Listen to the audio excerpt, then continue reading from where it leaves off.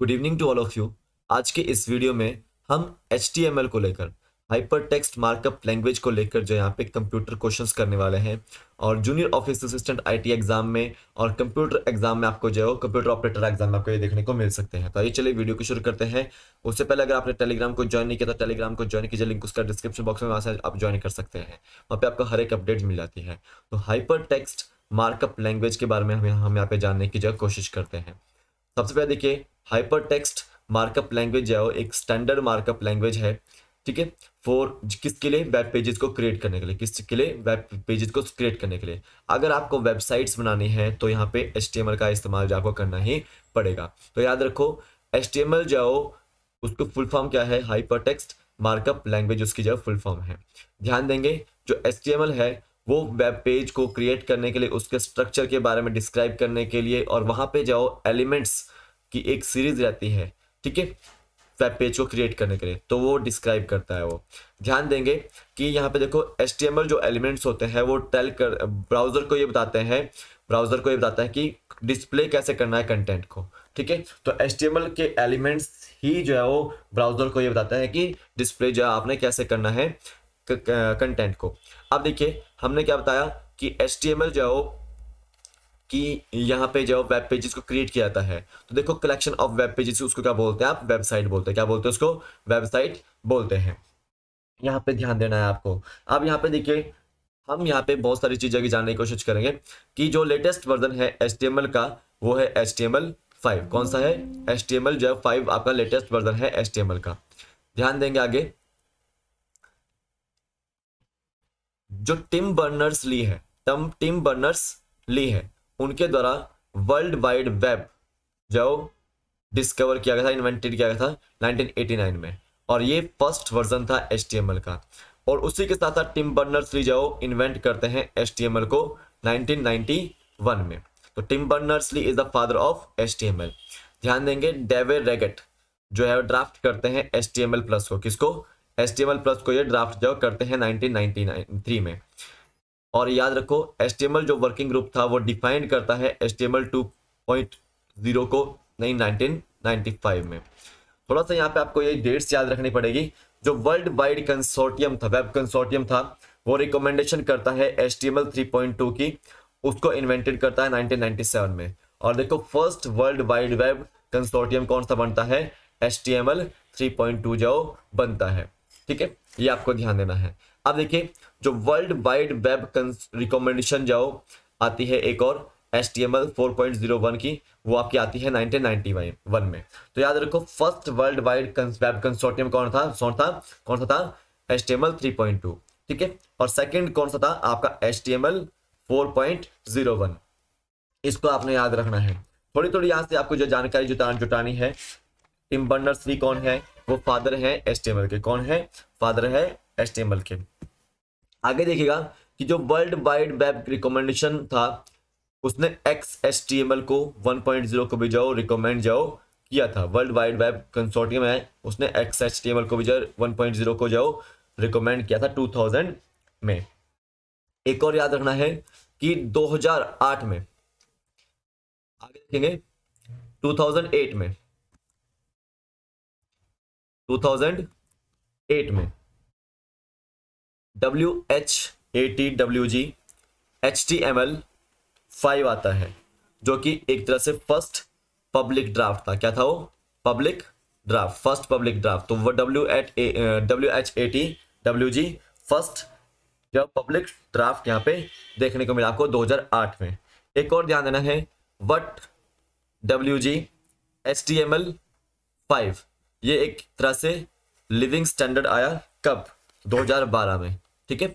एक और याद रखना है 2014 में, जो लेटेस्ट वर्जन है एचटीएमएल का, ठीक है? लेटेस्ट वर्जन जो जो 2014 में आया वर्ल्ड वाइड कंसोर्टियम के रिकमेंडेशन पे, वो कौन सा था? एच फाइव था, ठीक है? एच फाइव दो जो 2014 में आया। उसी तरह से 2016 में वर्ल्ड वाइड वेब कंसोर्टियम का जो एक कैंडिडेट रिकमेंडेशन आया। क्या आया कैंडिडेट रिकमेंडेशन क्या नाम था उसका? H T M L five point one था। ठीक है 2016 में आया उसी तरह से देखो 2017 में वर्ल्ड वाइड वेब कंसोर्टियम का एक candidate recommendation H T M L five point one second edition जाओ, आता है। ठीक है? याद रखो 2017 में एक और चीज़ें देखने को मिलती है। वर्ल्ड वाइड वेब की जो रिकमेंडेशन आती है, किसके लिए? H T M L five point two के लिए। तो सिंपल इतनी चीज़ आपको याद रखनी है। ये डेट्स आपको याद रखनी है एच से रिलेटेड है। तो लेटेस्ट वर्जन आपको पता होना चाहिए कि एच का कौन सा है। 2014 का है H T M L five कौन सा है? H T M L five जो कि रिकमेंडेशन पे किसके आया था? वर्ल्ड वाइड वेब कंसोर्टियम के रिकमेंडेशन पे देखने को मिलता है आपको। ठीक है?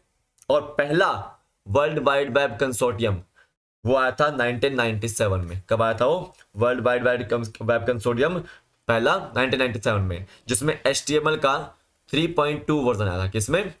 जिसमें HTML का जो 3.2 वर्जन आया था, वो आपका जो पहला वर्ल्ड वाइड वेब कंसोर्टियम था। ये आपको ध्यान देना है।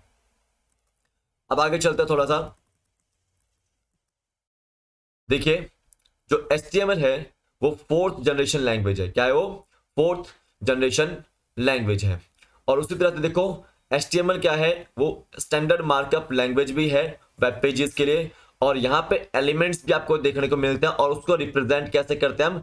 टैग्स से रिप्रेजेंट जाओ, करते हैं। कैसे रिप्रेजेंट करते हैं उसको हम? टैग्स से रिप्रेजेंट करते हैं। जनरली हमारे पास जाओ ग्रेटर देन और स्मॉलर देन का इस तरह से जाओ। सिंबल होता है एच को डिफाइन करने के लिए। अभी मैं आपको बताऊँगा यही ठीक है? अब देखिए H T developed by world wide web consortium और यही आपका जो लेटेस्ट वर्जन है। देखो फ़ाइल एक्सटेंशन क्या है एच की? वो है डॉट एच और डॉट एच ये फ़ाइल एक्सटेंशन है एच की। और हाइपर टेक्स्ट का मतलब क्या होता है कि यहाँ पे वेब पेजेस को लिंक किया गया है और उससे क्या बनाई जा रही है? वेबसाइट बना रही है। तो वेबसाइट बनाई जा रही है। याद रखो मार्कअप लैंग्वेज जो है वो टैग्स को यूज़ करती है, ठीक है कंटेंट को डिफाइन करने के लिए डॉक्यूमेंट के अंदर। XML is a extensible markup language तो एक्सएमएल क्या है? एक तरह से एक्सटेंसिबल मार्कअप लैंग्वेज है, जो कि मोर देन फ्लेक्सिबल है HTML से। और देखो एक्सएमएल जो है वो अलाउ करती है कस्टम टैग्स को क्रिएट करने के लिए क्रिएट क्रिएट कराने के लिए, ठीक है? और एक्सएमएल जो है वो, जो टेक्स्ट यूज़ हो रहा है आपका, वो स्टोर करने के लिए और ऑर्गेनाइज करने के लिए डाटा को। और देखो, यहाँ पे HTML जो टैग्स है, वो डिस्प्ले करने के लिए जाओ होता है डाटा को। सिंपल ये चीज़ आपको याद रखनी है एच के बारे में। अब थोड़ा सा आगे चलेंगे हम। हम थोड़ा सा यहाँ पे जानने की कोशिश करेंगे एच के एट्रीब्यूट्स के बारे में। सिंपल ध्यान देंगे कि सबसे पहले तो हमको यहाँ पे जाओ। ध्यान देना है एक एच का हम डॉक्यूमेंट यहाँ पे बनाने जा रहे हैं। एच डॉक्यूमेंट का एग्ज़ाम्पल दे रहा हूँ मैं आपको यहाँ पे। एच डॉक्यूमेंट का एग्ज़ाम्पल दूँगा। सबसे पहले तो याद रखो कि जब भी हम एच को स्टार्ट करते हैं तो इस तरह से ग्रेटर देन का साइन बना होना चाहिए और ये आपका साइन होना चाहिए। और देखो डॉक टाइप ऊपर लिखते हैं, ठीक है? और यहाँ पे एच लिखा जाता है। ये लाइन कंप्लीट आपको क्लोज फिर सेकंड लाइन में आइए, फिर आपका एच स्टार्ट होता है, फिर आपका हेड आता है, ठीक है? फिर आपका जाओ टाइटल आता है टाइटल क्लोज फिर पेज टाइटल आता है, फिर आपका जाओ टाइटल आपका क्लोज हो चुका है। ठीक है? याद रखो, फिर आपका हेड जब आप क्लोज करोगे तो आपको इस तरह से स्लैश साइन लगाना है और बॉडी लास्ट में क्या आएगी? बॉडी आएगी। तो यहाँ पे ध्यान दो कि हम H1 जो टैग है, वो फ़र्स्ट हेडिंग के लिए फ़र्स्ट हेडिंग के लिए आप H1 टैग यूज़ करोगे। जब आप स्टार्ट करोगे तो आपने जाओ, यहाँ पे स्लैश नहीं यूज़ करना है। जब आप खत्म करोगे तो एच वन के साथ पहले आपने जो है स्लैश यहाँ पे लगाना है। और देखो पी टैग आप जाओ फ़र्स्ट पैराग्राफ के लिए। किसके लिए? फ़र्स्ट पैराग्राफ के लिए पी आप यूज़ कर सकते हो। जब आप खत्म करोगे तो स्लैश लगाना और यहाँ पे पी ठीक है? इस तरह से। ये आपका डॉक्यूमेंट का जाओ टाइप है। एग्ज़ाम्पल दे रखा है मैंने। अब मैं आपको यहाँ पे डिस्क्राइब करता हूँ कि सबसे पहले तो यहाँ पे हमने डॉक टाइप का इस्तेमाल किया। क्या किया? डॉक टाइप का इस्तेमाल किया है। तो डॉक टाइप है, क्या यहाँ पे? तो ये एक तरह से डेक्लेरेशन है जो डॉक्यूमेंट को डिफाइन करता है। क्या करता है ये? डॉक्यूमेंट को डिफाइन करता है। यानी कि जो एच का जो डॉक्यूमेंट है, उसको कौन डिफाइन कर रहा है? डॉक टाइप डिफाइन कर रहा है। उसी तरह से देखो एचटीएमएल लिखा है यहाँ पे। सेकंड नंबर पे एचटीएमएल इस तरह से। तो ये देखो, ये एक तरह से एच पेज का जो एक रूट एलिमेंट है। क्या ये? रूट एलिमेंट ठीक है? आप देखो यहाँ पे हमने एच के नीचे क्या यूज़ किया है? हेड यूज़ किया क्या यहाँ पे? हेड यूज़ किया है। तो ये एच पेज की जो इंफॉर्मेशन को कैरी करता है इंफॉर्मेशन को जो ये कैरी करता है। उसी तरह से याद रखो, फिर हमने यहाँ पे जो टाइटल यूज़ किया है, क्या यूज़ किया है? टाइटल यूज़ किया है। तो यहाँ पे ध्यान दो टाइटल में जाओ एच पेज का ये स्पेसिफाई करता है टाइटल ठीक है? एच पेज का जो है स्पेसिफाई क्या कर रहा है? टाइटल को स्पेसिफाई कर रहा है। उसी तरह से हम यहाँ पे जाओ, नीचे क्या यूज़ किया? बॉडी यूज़ किया। क्या यूज़ किया? बॉडी यूज़ किया। हेड ये क्लोज है, ठीक है? बॉडी हमने यहाँ पे यूज़ किया। तो यहाँ पे जो आपने डॉक्यूमेंट बॉडी में डिफाइन करना है डॉक्यूमेंट में आपने डिफाइन करना है, वो आप यहाँ पे नोट डाउन करेंगे, ठीक है? जो कंटेंट आपने यहाँ पे डालना है, वो आप नोट डाउन करेंगे, ठीक है? जैसे कि आपने पैराग्राफ लिखना है या कोई भी हेडिंग डालनी है ठीक है, या कोई भी इमेज डालनी है, या हाइपर लिंक डालना है, ठीक है, या फिर कोई टेबल डालना है, या कोई भी लिस्ट डालनी है तो आपके यहाँ पे बॉडी में जाओ, उसको ऐड करोगे। फिर आपका यहाँ पे याद रखना है H1 वो एक तरह से लार्ज हेडिंग को जाओ डिफाइन करेगा। क्या करेगा वो? लार्ज हेडिंग को डिफाइन करेगा। या फिर जो फ़र्स्ट हेडिंग होती है, उसको ये डिफाइन करता है। और याद रखो पी आपका क्या डिफाइन कर रहा है? पैराग्राफ का जाओ एलिमेंट को डिफाइन कर रहा है पैराग्राफ को जो है डिफाइन कर रहा है। तो ये आपको पता होना चाहिए, इतना एस्टेमल में आपको पता होना चाहिए कि क्या क्या कौन से, कौन जो डिफाइन करता है। ठीक है? तो यहाँ पे ध्यान दो। यहाँ पे ध्यान देंगे, एक बी आर टैग भी होता है। क्या होता है? बी आर टैग और ये एलिमेंट आपका एच में होता है, जिसमें नो कंटेंट कोई भी कंटेंट नहीं होता। बी आर टैग वहाँ पे यूज़ करते हैं, जहाँ पे कोई भी कंटेंट नहीं है। ठीक है? और इसको क्या बोलते हैं आप? एम टैग बोलते हैं। एम टैग बोलते हैं। या एम एलिमेंट भी बोलते हैं। तो बी आर टैग कौन सा है? बी आर आपका जो एलिमेंट क्या है? वो एक एम एलिमेंट है। ठीक है? और एम्प्टी एलिमेंट में कोई भी एंड टैग नहीं होता है। अब सिंपल सी बात याद रखेंगे वेब ब्राउज़र के बारे में। वेब ब्राउज़र के बारे में। आपने सुने होंगे क्रोम एज फायरफॉक्स सफारी ये सब क्या है आपके? वेब ब्राउज़र हैं।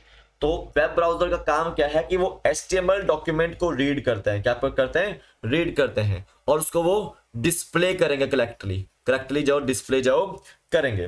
ठीक है?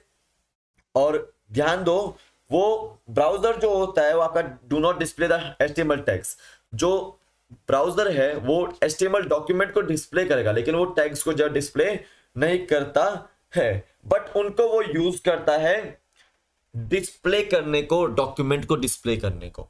ठीक है? ये आपको ध्यान देना है। तो web browser read the HTML document and display them correctly but he do not show the tags ये शो जाओ टैक्स जो जाओ शो नहीं करता है। ठीक है? इसको आपने इतना याद रखना है। अब थोड़ा सिंपल ही आपको पता होना चाहिए ये सारी चीज़ें। अब यहाँ पे याद रखो एचटीएमएल में आपने लिंक्स को ऐड करना है। तो याद रखना है आपने एच में ए टैग आप यूज़ कर सकते हो लिंक्स को ऐड करने के लिए, ठीक है? तो यहाँ पे याद रखेंगे, जो लिंक्स है, वो एक तरह से डेस्टिनेशन है, वो स्पेसिफाई की गई है H R E F attribute द्वारा। कौन से एट्रीब्यूट द्वारा? H R E F attribute द्वारा। तो एट्रीब्यूट जो है वो एक एडिशनल इंफॉर्मेशन प्रोवाइड करते हैं किसके बारे में? एस्टिमल एलिमेंट्स के बारे में एडिशनल इंफॉर्मेशन जो प्रोवाइड करते हैं।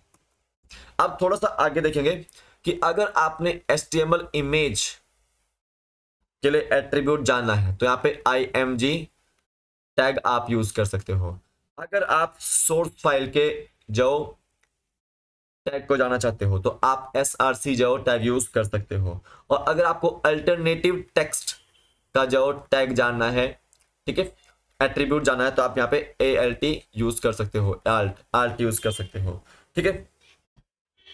ये आपको ध्यान देना है। थोड़ी थोड़ी चीज़ें आपको यहाँ पे जो जो आपको एग्ज़ाम में आती है, वही वही बता रहा हूँ। अब याद रखना है कि एच टी एम एल जो केस सेंसिटिव नहीं है। H T M L is not a case sensitive SQL is not a case sensitive H T M L भी जो केस सेंसिटिव नहीं है। और एसक्यूएल भी केस सेंसिटिव नहीं है। ठीक है? ये आपको याद रखना है। अब यहाँ पे याद रखो, कुछ एट्रीब्यूट लिखा रहा हूँ मैं आपको। H R E F attribute में याद रखेंगे। एक तो ए एट्रीब्यूट मैंने आपको बता दिया, जो कि हाइपर लिंक को डिफाइन करता है। हाइपर लिंक को डिफाइन करता है। देख, जैसे आपने कोई भी यूट्यूब का लिंक जाओ, देखा होगा तो वो क्या है? वो एक हाइपर लिंक है। ये ए एट्रीब्यूट से स्टार्ट होता है। किससे? ए एट्रीब्यूट से। H R E F inverted commas H T T P dot dot slash slash W W W dot Shubham G K trick dot com ठीक है? ये क्या है? ये पूरा का पूरा क्या है? ये हाइपर लिंक है। तो इसको कौन सा एट्रीब्यूट स्पेसिफाई कर रहा है? ए एट्रीब्यूट कौन सा? ए एट्रीब्यूट तो इसी तरह से दूसरा याद रखना है आपको। जो सोर्स फ़ाइल को स्पेसिफाई करता है, ठीक है? वो आपका है एस आर सी एट्रीब्यूट कौन सा है वो? एस आर सी एट्रीब्यूट मैंने आपको अभी ये बता दिए हैं, और भी बता रहा हूँ मैं आपको। S R C attribute source file को जो बताता है स्पेसिफाई करता है। तीसरा याद रखो? विड्थ एंड हाइट के लिए एट्रीब्यूट्स ठीक है? विड्थ एंड हाइट के लिए एट्रीब्यूट्स तो आई एम जी जो इमेज के लिए यूज़ करते हैं आप, वही आप विड्थ के लिए यहाँ पे जो यूज़ करते हैं टैग ठीक है? याद रखना है। और ये जो इमेज होगी, वो पिक्सल्स में जाए शो करते हैं। किसमें? पिक्सल्स में जाओ शो करते हैं। ए एल टी जो एट्रीब्यूट है, वो आपका अल्टरनेटिव टेक्स्ट के लिए जो यूज़ होता है। याद रखना है। जब इमेज आपके किसी कारण से डिस्प्ले नहीं हो पाती है तो आप वहाँ पे अल्टरनेटिव टेक्स्ट का यूज़ करते हो। ठीक है? याद रखना है। तो यहाँ पे आई एम जी जो टैग आप यूज़ कर सकते हैं। याद रखेंगे। एक और याद रखना है आपने स्टाइल एट्रीब्यूट बहुत सारे हैं स्टाइल एट्रीब्यूट तो स्टाइल एट्रीब्यूट में आपको याद रखना है, यहाँ पे एलिमेंट में, किसी भी एलिमेंट में आप जस्ट स्टाइल्स को ऐड करो किसी भी एस्टिमेट डॉक्यूमेंट में आप स्टाइल्स को जाओ ऐड करे हो, जैसे कि कलर हो गया, ठीक है? फूट हो गया, और आपका जाओ फॉन्ट सॉरी फॉन्ट हो गया, एक आपका साइज़ हो गया, और एक आपका मोर ऑप्शन कोई भी आपका जाओ, यहाँ पे स्टाइल एट्रीब्यूट में आता है। एक और याद रखना है लैंग एट्रीब्यूट लैंग एट्रीब्यूट में आप लैंग्वेज लैंग्वेज ठीक है? तो यहाँ पे एस को डिफाइन करने के लिए वहाँ पे लैंग्वेज की ज़रूरत होती है तो यहाँ पे आप लैंग्वेज जाओ यूज़ कर सकते हो। लैंग एट्रीब्यूट जो यूज़ कर सकते हो, ठीक है? तो यहाँ पे आप कंट्री कोड भी जाओ, आप ऑल्सो डिस्प्ले कर सकते हो ऐड कर सकते हो लैंग्वेज लैंग्वेज कोड में लैंग एट्रीब्यूट में, ठीक है? ये आपको ध्यान देना है। जैसे कि आपके याद रखना है, जैसे आपने ई एन इंग्लैंड यूएस ठीक है? इस तरह से आपको याद रखना है कि आपके जो पूरा का पूरा क्या है? कंट्री कोड और आपका लैंग्वेज एट्रीब्यूट है। यहाँ पे देखो, जो फ़र्स्ट टू करेक्टर है, वो डिफाइन कर रहे हैं लैंग्वेज को इंग्लिश को, और सेकंड जो दो करेक्टर्स आपके वो कंट्री को डिफाइन कर, जैसे आपका एच आई इंडिया ठीक है? आई एन तो आपका कंट्री कोड और यहाँ पे लैंग्वेज को डिनोट करें तो आपका ये लैंग्वेज एट्रीब्यूट होता है। और याद रखो, एक और है टाइटल एट्रीब्यूट टाइटल एट्रीब्यूट जो यहाँ पे जो भी इंफॉर्मेशन आपने डिस्प्ले की है, उसके टाइटल को डिनोट करते हैं टाइटल को डिनोट करते हैं। तो यहाँ पे याद रखना है और जितने भी एट्रीब्यूट्स हैं, उसके लिए आप क्या यूज़ करोगे? लोअर केस यूज़ करोगे। क्या यूज़ करोगे? लोअर केस आप यूज़ करोगे स्मॉल कैरेक्टर्स में आप जो उसको लिखोगे, जितने भी एट्रीब्यूट्स हैं। ठीक है? अगर आपको टेक्स्ट को बोल्ड करना है टेक्स्ट को बोल्ड करना है तो आप यहाँ पे बी एट्रीब्यूट यूज़ करोगे। ठीक है? और एक आपको याद रखना है? इंसर्ट लाइन ब्रेक आपको करना है। लाइन ब्रेक करना है इंसर्ट करना है। तो यहाँ पे बी आर आप यूज़ करोगे। एक और चीज़ आपको याद रखनी है, ठीक है? कि अगर आपको इंसर्ट इमेज करनी है तो आप आई एम जी या फिर सोर्स फ़ाइल आप ऐड कर सकते हो। इसको आपने अच्छे से याद रखना है। जैसे बैकग्राउंड हो गया। बैकग्राउंड के लिए बैकग्राउंड कलर के लिए बैकग्राउंड के लिए आप यहाँ यूज़ कर सकते हैं। M A R Q U E ठीक है? बी जी कलर ये आप यूज़ कर सकते हैं। ठीक है? अगर आपको हॉरिजॉन्टल रूलर यूज़ करना है तो आप एच आर एट्रीब्यूट यूज़ कर सकते हो। ये आपको याद रखना है। अब देखो डाटा सोर्स के लिए data A S R C attribute कहाँ यूज़ कर सकते हो? आपने डाटा को बाइंड करना है तो आप यहाँ पे data S R C use कर सकते हो एट्रीब्यूट थोड़ा सा याद रखना है कि अगर आपको सिलेक्ट एट्रीब्यूट यूज़ कर रहे हो, अगर आप सिलेक्ट एट्रीब्यूट यूज़ कर रहे हो तो यहाँ पे आप कोई भी क्रिएट जो ड्रॉप डाउन बॉक्स होता है, वो आप क्रिएट कर सकते हो, ठीक है? ये आपको ध्यान देना है, ठीक है? तो यहाँ पे जैसे मेल को आपने सेंड करना है तो आप सेंडिंग मेल करें एच में ए के साथ H R E F attribute और साथ साथ में मेल टू ठीक है?